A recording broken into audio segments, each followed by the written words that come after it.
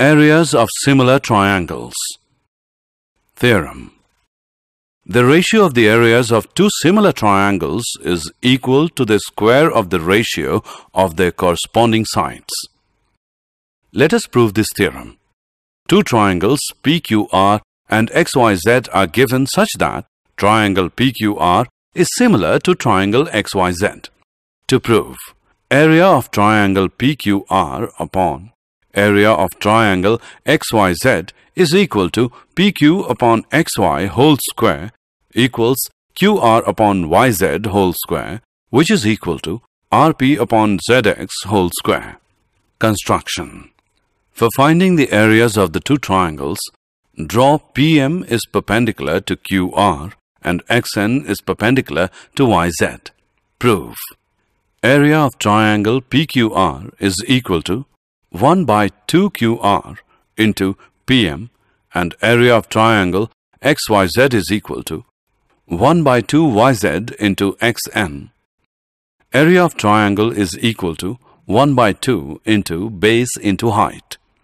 Therefore, area of triangle PQR upon area of triangle XYZ equals QR upon YZ into PM upon XN. Mark it as 1. In triangle PQM and XYN, angle Q is equal to angle Y. Triangle PQR is similar to triangle XYZ.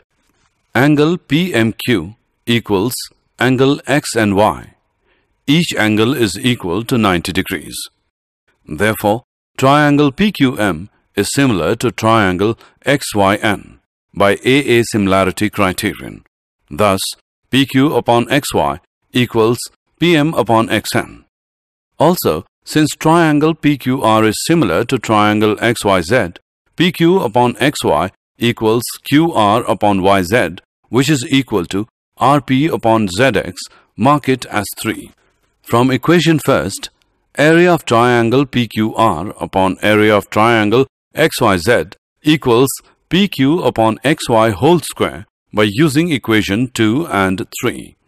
Now by using equation 3 we get area of triangle PQR upon area of triangle XYZ equals PQ upon XY whole square which is equal to QR upon YZ whole square which is equal to RP upon ZX whole square.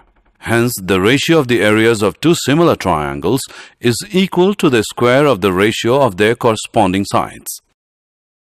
Subscribe UnfoldU today and explore the ocean of animated basic videos, animated question videos, homework help, previous year's solved question papers, symbols, glossary, practice problems for any topic, anywhere, 24 hours, 7 days.